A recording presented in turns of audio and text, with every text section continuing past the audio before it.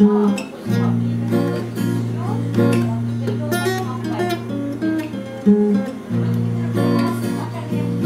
hari raya, Terkenan daku kepada si dia Kampungku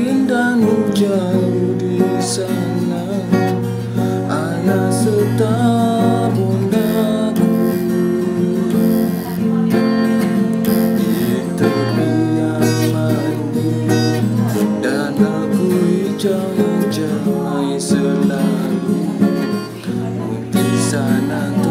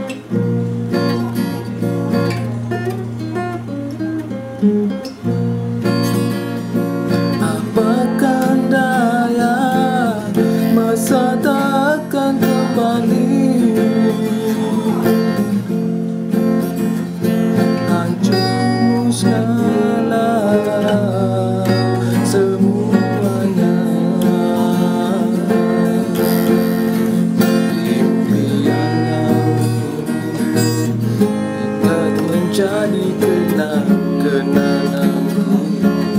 Hanya rangkaian kata dengan tak